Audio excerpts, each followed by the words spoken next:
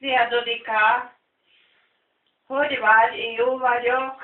Neked is minden jót kívánok. Vigyázz magadra, egyél sok leves, sok vizet. Szia!